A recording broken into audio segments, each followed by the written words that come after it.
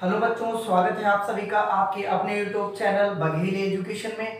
जैसा कि आपने, कल हमने आपको एक फ़र्स्ट चैप्टर की वीडियो अपलोड की थी।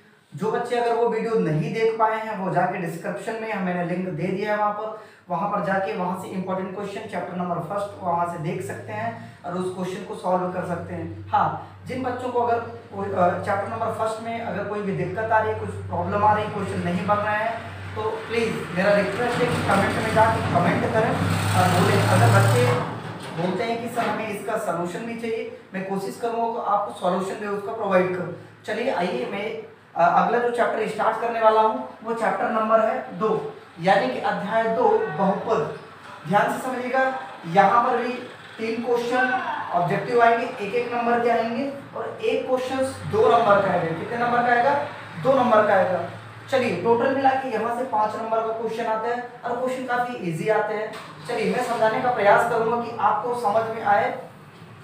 क्वेश्चन है हमारा कि द्विघात बहुपद x square minus two x minus eight के शून्य ज्ञात कीजिए और गुणांकों के बीच संबंध, सत्यता की ज्ञात कीजिए।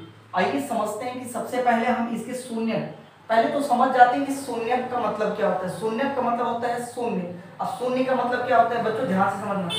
इसको हम गुणनखंड विधि से इनके दो x के दो मान निकालेंगे। क्या निकालेंगे? x के दो मान निकालेंगे। वही x के दो मान ही क्या कहलाएँगे बच्चों? इस बहुपद की शून्य कहलाएँगे। और शून्य का मतलब समझते हैं। जब x के दो मान आएँगे, अभी मैं निकाल के बताऊँगा आपको कि x के दो मान कैसे आएँगे।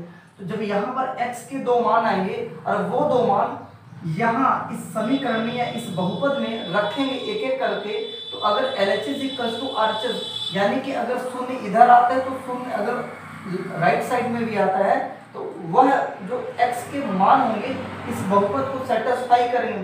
तो जब दोनों का मान शून्य आएगा, इसलिए इसको हम शून्य कहते हैं। चलिए अब हम समझाने का प्रयास करते हैं। तो सबसे पहले हम क्वेश्चंस को लेते हैं। X square minus two x minus eight अब ध्यान से समझिएगा। गुणनखंड विधि से यहाँ से हम x के दो मान निकालेंगे। अब ध्यान से समझिएगा। ये हमारा अंतिम पद है। इसको हम बोलते हैं अंतिम पद और इसको बोलते हैं हम प्रथम पद। अंतिम पद का प्रथम पद से ऐसे गुणा करिए और गुणनफल को ऐसे दो बराबर भागों में बांटिए। ध्यान से समझिएगा। अंतिम पद का प्रथम पद से या प्रथम पद का अंतिम पद से ऐसे गुणा करिए कि गुणनफल जो आता है उसको दो पदों में ऐसे बांटिए कि गुणा गुणा करने से गुणनफल के बराबर आना चाहिए और जोड़ने या घटाने से बीच वाले पद के क्या आना चाहिए? बराबर आना चाहिए। आइए हम समझाने का प्रयास करते हैं कि आठ का गुणा जब यहाँ पर एक है, कुछ नहीं है तो क्या है? एक है। तो आठ का गुणा जब हम एक में करेंगे तो क्या आएगा? आठ एक कम आठ। अब ये गुणनफल हो गया। ये क्या हो गया हमारा? गुणनफल अब इस गुणनफल को हम क्या करते हैं? दो भागों में बांटते हैं। यानी कि दो चौको आठ और दो दूनी, चार और दो एक कम दो। यानी कि अब ध्यान से समझिए दो और दो को गुणा करेंगे चार, और यहाँ पर गुणे दो ले लेते हैं। तो चार दूनी आठ, और अगर हम चार में दो घटाएँगे तो कितना आ जाएगा? यहाँ पर दो। यानी कि आठ को हमने ऐसे दो बराबर बराबर भागों में बांट लिया कि उनका गुणनफल कितना आना चाहिए? आठ आना चाहिए। और जोड़ने और घटाने से बीच वाले पद की क्या आना चाहिए? बराबर आना चाहिए। चलिए मैं इसको सॉल्व करके दिखाता हूँ आपको। तो यहाँ पर हम क्या करते हैं, पहले का इसमें मल्टीप्लाई करते हैं तो ध्यान से समझिएगा। यहाँ पर एक्स स्क्वायर माइनस ब्रैकेट में लिख लेते हैं। चार एक्स माइनस दो एक्स माइनस आठ। यहाँ पर ऐसा क्यों कर रहे हैं? तो चार का अगर दो में गुणा करेंगे तो चार दूनी आठ आएगा और चार में दो को घटाएँगे तो बीच वाले पद की क्या आ रहा है? बराबर, यानी कि दो के बराबर। इसको सॉल्व कर लेते हैं।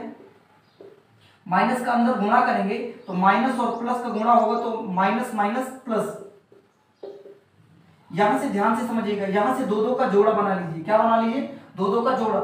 यहाँ पर दो दो का जोड़ा, और जोड़ा बनाने का मतलब ये होता है कि इनमें वह चीज़ें निकालिए जो दोनों में तो यहाँ पर हम देख रहे हैं कि x और x दोनों में है तो यहाँ से एक x बाहर ले लीजिए। तो यहाँ पर दो x है तो यहाँ पर एक x बचेगा। यहाँ पर क्या बचेगा? चार बचेगा।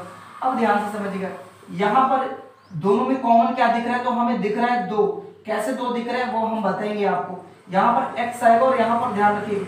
आठ को हम लिख सकते हैं, चार गुड़े दो। तो जब यहाँ पर हम दो बाहर ले लेंगे तो क्या आएगा यहाँ पर? चार आएगा। अब ध्यान से समझिएगा। इसका मतलब ये है कि जो चीज़ यहाँ आएगा, वही चीज़ यहाँ आना चाहिए। अगर जो चीज़ यहाँ है, अगर वो चीज़ यहाँ नहीं है तो गलत माना जाएगा। फिर सही नहीं होगा। अब ध्यान दें, दोनों में कॉमन क्या है? कॉमन का मतलब होता है उभयनिष्ठ उभयनिष्ठ का मतलब होता है जो दोनों में उपस्थित हो। यानी x माइनस फोर यहाँ पर भी और x माइनस फोर यहाँ पर भी है। तो दोनों से अगर हम x माइनस फोर को बाहर ले लेंगे तो यहाँ पर बचे क्या तो ध्यान से समझिएगा, x यहाँ से बच रहा है और प्लस है तो प्लस करिए और यहाँ पर क्या निकालिए? दो। अब ध्यान से समझिएगा, यहाँ पर हम शून्यक लेंगे। शून्यक का मतलब यहाँ पर हम क्या ले ले रहे हैं? ज़ीरो यहाँ पर हम ज़ीरो लेंगे तो ध्यान से समझिएगा। जब यहाँ पर हम x माइनस फोर लेंगे तो ये गुणा में है तो दूसरी साइड ये किसमें चला जाएगा? भाग में चला जाएगा। तो जब भाग में जाएगा तो x प्लस टू यहाँ पर भाग में जाएगा तो ज़ीरो हो जाएगा। तो बराबर में क्या बचेगा? ज़ीरो। ये ये माइनस उधर जाएगा तो क्या आएगा? फोर आएगा। आई होप कि आपको समझ में आता होगा। अब ध्यान से समझिएगा। यहाँ पर हम, जब हम x माइनस फोर लिए तो x की वैल्यू फोर है। जब हम यहाँ पर x प्लस टू लेंगे तो क्या आएगी वैल्यू यहाँ पर? यहाँ पर ज़ीरो लेंगे तो x बराबर कितना आएगा? माइनस दो मेरे प्यारे बच्चों, यही x के दो मान ही क्या कहलाएँगे? शून्य कहलाएँगे। यही x के दो मान क्या कहलाएँगे? शून्य कहलाएँगे। अब ध्यान से समझिएगा। आई होप कि बच्चों, आपको ये क्वेश्चन बहुत अच्छे से समझ में आया होगा। उम्मीद करता हूँ कि इस क्वेश्चन को आप दो, तीन बार, चार बार जब तक की समझ में ना आए वीडियो को पॉज करके बार बार देखने का प्रयास करें। और हाँ मैं एक चीज़ और समझा देने का प्रयास करता हूँ कि क्वेश्चन में जो दिया गया कि द्विघात बहुपद x square minus two x minus eight के शून्य ज्ञात कीजिए और गुणांकों के बीच के संबंध अब ध्यान से देखिएगा। ये प्रश्न जो आएँगे तो दो नंबर के आएँगे। कितने नंबर के आएँगे? दो नंबर के आएँगे। और दो नंबर में सिर्फ़ और सिर्फ़ आपको क्या पूछेगा? शून्य ज्ञात कीजिए। संबंध और सत्यता की ज्ञात करने के लिए नहीं आएगा ये मैं लिख दिया हूँ ताकि आपको अगर अगर क्वेश्चन में भी आए तो ये समझ में आएगी कि हाँ कि संबंध और सत्यता क्या होता है। आपके लिए मैं होमवर्क के लिए या एच डब्ल्यू के लिए मैं दो क्वेश्चन दिया हूँ। मेरे प्यारे बच्चों ध्यान से समझ, अगर पहला क्वेश्चन अगर आपको बहुत अच्छे तरीके से समझ में आया होगा और अगर आप समझ लेते हैं तो hundred and one percent sure मैं कहता हूँ कि आपको ये दोनों क्वेश्चन समझ में आए। आप क्वेश्चन सॉल्व करने का प्रयास करिएगा। और अगर हाँ अगर क्वेश्चन अगर सॉल्व करने में कहीं पर भी प्रॉब्लम से जा रही है, अगर नहीं बन रहा है, नहीं समझ में आ रहा है तो कमेंट में ज़रूर बोलिएगा कि सर, समझ में आ रहा है कि नहीं आ रहा है। Okay thank you so much watching this video